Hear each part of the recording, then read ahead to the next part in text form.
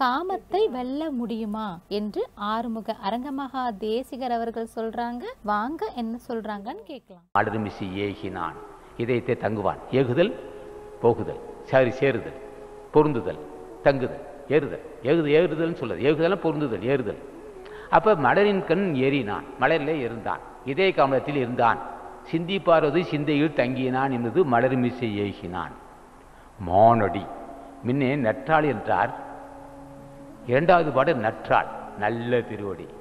முன்ன அதுக்கு விளக்க சொல்லிட்டேன் இங்கே மானடி மாட்சிமை பொருந்திய அடி.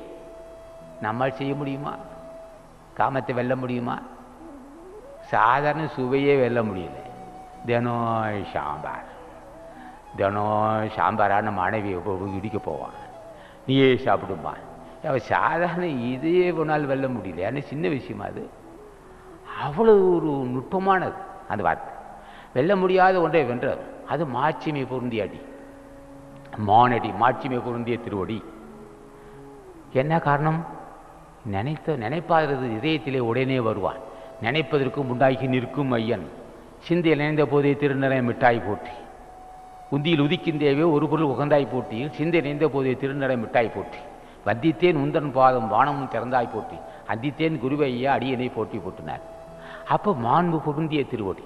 மா சொல்கிறார் மடல் மெசியேக்கிறான் மானடி சேர்ந்தான் சேருதல் அவன் சிந்தையில் இருந்தான் திருவடி சேர்ந்தான்.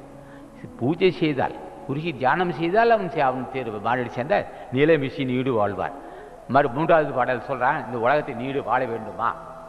இரண்டாவது பாடல் சொன்னேன் தூய்மையானவன் திருவடியை பற்றிக்கொள் என்றேன். மூன்றாவது பாடல் நீடு ஆயுள் பெற வேண்டுமா? பிடித்துக்கொள். அவன் என்றும் மரணமில்லா பெருவாள் பெற்றவன் மரணமில்லா பெருவாள் பெற்றவன் திருவடி பிடித்துக்கொள்னா மானடி சேர்ந்தார். நிலமிசை நீடு வாழ்வார். இந்த உலகத்தை நீடு வாழ்வார்.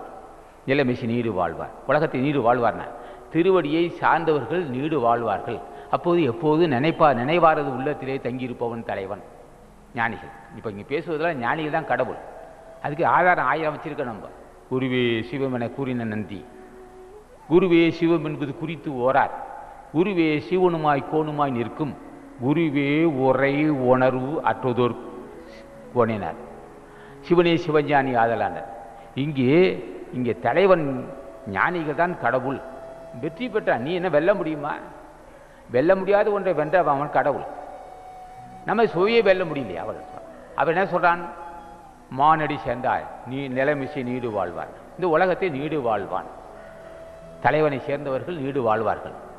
முற்று பெற்ற முனிவன் மரணமில்லா பெருவாழ்வும் திருப்படியை பிடித்தால் நீ நீடு பண்ணமில்லா பெருவாள் பெறுவாய். அதுதான் அதுக்கு அர்த்தம். இந்த எரியிற விறகு எரியிற நெருப்பில் கொண்டு போய் விறக வச்சா இது எரிஞ்சு போகும். அதே மாதிரி தான். பெரியவங்ககிட்ட அடுத்தது. ஆசானது அருளுரைகளை தொடர்ந்து கேட்க அரங்கர் டிவிக்கு லைக் பண்ணுங்க சப்ஸ்கிரைப் பண்ணுங்க. மறக்காம பெல் பட்டனையும் கிளிக் பண்ணுங்க.